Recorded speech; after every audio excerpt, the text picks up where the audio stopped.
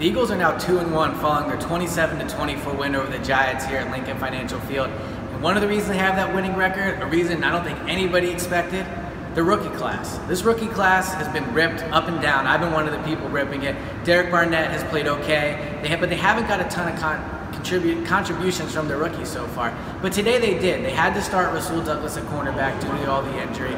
They had to use kicker Jake Elliott, who wasn't even with the team in training camp. He's a rookie. He was put in a big spot. And they had to use rookie running back Corey Clement. So they had three big rookies that they had to use in tough spots against the Giants. And they came up big. I mean, let's look at what each did. Rasul Douglas was had had to match up against Brandon Marshall, who, yeah, isn't the player he used to be, but still one used to be one of the best receivers in the league and has a ton of experience on him. Rasul Douglas comes up with his first career interception, making a play on the ball down the field, and that was his skill coming out of West Virginia, his ability to make plays on the ball. So he came up big. I mean, he did let up one catch late, but I thought you still be very encouraged by what you saw from him.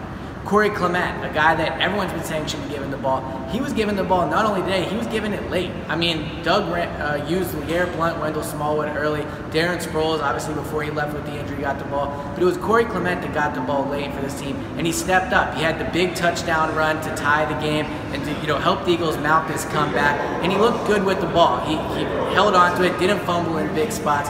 So I thought that was very encouraging. And then, of course, the hero of the day is Jake Elliott, the kicker, a rookie, fifth round pick from the Bengals that was released by them out of training camp, picked up by the Eagles, stepped up in a huge spot. I mean, he can't be overlooked what a big spot this was. At home, against a Giants team that needed to win.